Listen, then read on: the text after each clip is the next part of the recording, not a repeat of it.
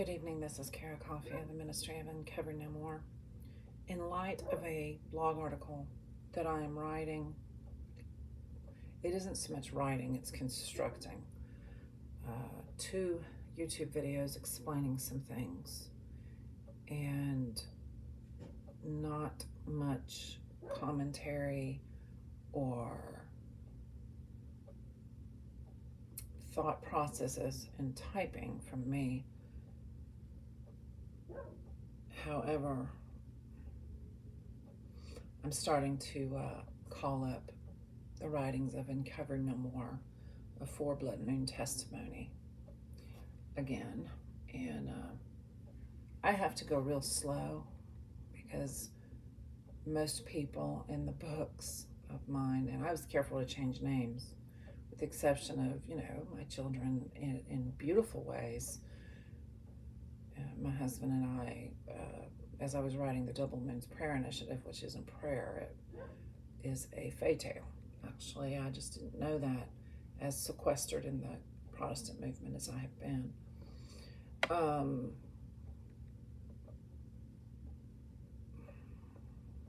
I'm starting to pull portions out, and it's it's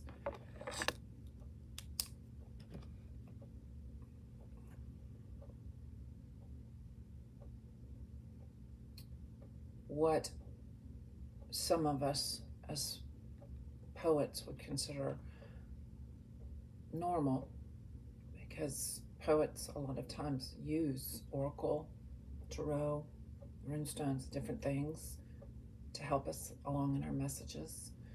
We read other poets. We construct written material. Um, we're not of the technology world, and we never have been.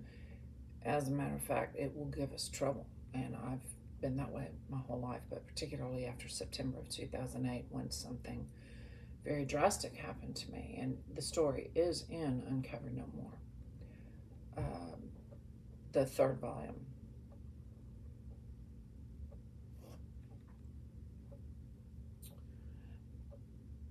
So I'm having to change a lot of different ways that I express myself and even why I express myself has been questioned many times.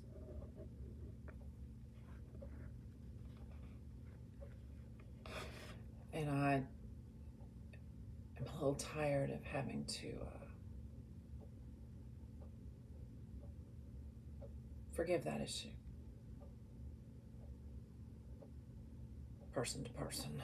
But uh, I'm used to it now and it's I'm not allowing rejection to be a part of my life anymore. And in this blog article that I'm constructing for a new website, I lay some boundaries. So I am making sure that my life is where it will be in an election year. There's so much rhetoric being bandied about that it's pretty much true. You should probably, I should probably stay off of all media. Just get the facts and stay away.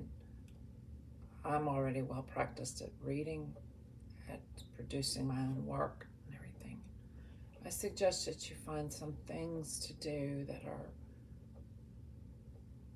literary, do some math. I've done math and I've seen people in coffee shops doing math workbooks like I've done to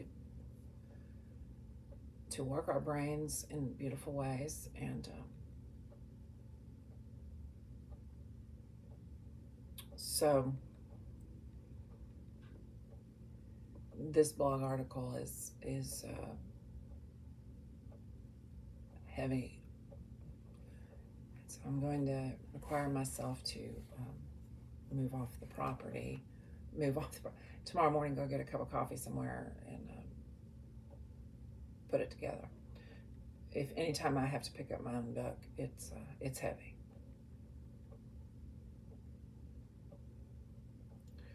for various reasons. Um,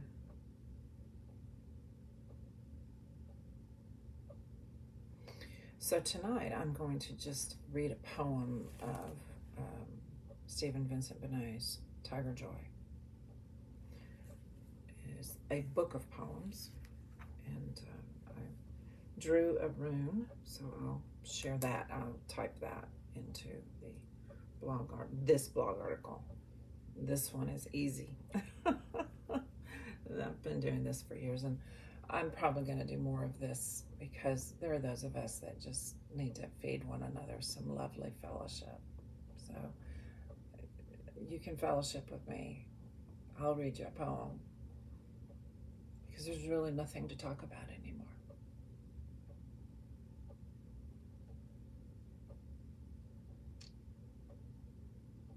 I have beautiful gardens. I'm so grateful.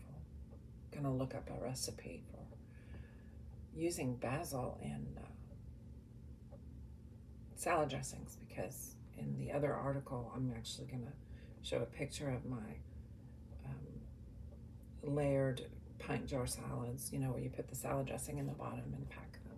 It's a very good salad.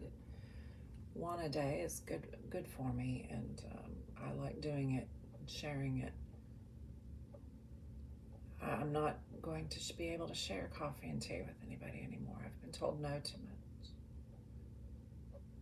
People have left me in spirit, and uh, and I'm looking at one of my tiny paintings that's on something I made, and it's red clouds crying glitter into a dark background of air and space. And,